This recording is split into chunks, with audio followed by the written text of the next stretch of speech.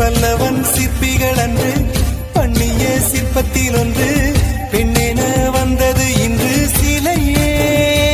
உந்தன் அழகுக்கில்லை ஈடு.